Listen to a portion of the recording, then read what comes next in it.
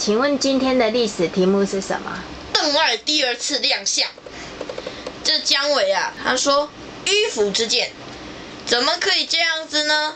敌我们的军队啊，士气正在高潮，正在高涨。如果说我们放弃这个进攻的好机会，真是太可惜了。这个张毅啊，被说的哑口无言。他说：“江将军，他老了吗？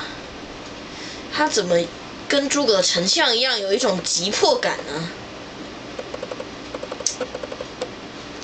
这张毅啊，摇了摇头，他说：“既然江将军执意这么做，做属下的，我是个军人，我也只能够听从指令，请江将军差差遣吧。”这姜维啊，命令这个夏侯霸还有张翼这两个人呐，攻击敌道城，但是呢，没什么进展。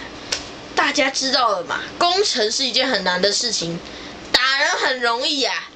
然后呢，要登门拜访的时候要踹门就不容易了，何况是攻城，也不是像踹人那么简单，踹门那么简单呐。那又不能用脚来踹城门，立刻就把你射成刺猬。用脚踹门的话，那可能还只是脚痛而已。这样的话，那如果用脚踹城门的话，那肯定被射成肉，射成那海胆。哎呀呀，这样的话呢，攻城是一件很不容易的事情啊。而且还有坏消息，一到城呢，北边来了一彪人马，正是邓艾。嗯，姜维说，邓艾这个家伙，他的名字我好像有听过啊。夏侯霸说：“报告将军，我多年前就有跟你讲过，邓艾和钟会是中呃是魏国的两大才子，您千万要好好的提防他，尤其是邓艾。现在我们面对的难题是他，这个邓艾啊，他的自我介绍，我想说书人已经说过了，不需要再说了吧。”姜维说：“我当然知道，说书人说过啊。”姜维说：“嗯，夏侯将军，你呢？首先看一看邓艾这人怎么样。他说话虽然有点口急，可是问题是头脑是蛮明智的啦。”嗯，姜维说啦：“夏侯将军，你真的这么认为吗？”“是啊。”嗯，我知道了，我今天就要让邓艾的威名一笔勾销。夏侯霸吓了一跳，他从来没有听过姜维这样子说话过。就这样啊，姜维他，他就说：“张毅，铭记张英和夏侯霸两将继续攻击敌道吧。现在邓艾的军队远道而来，肯定是累。”肯定是很累的，看我打得他们溃不成军。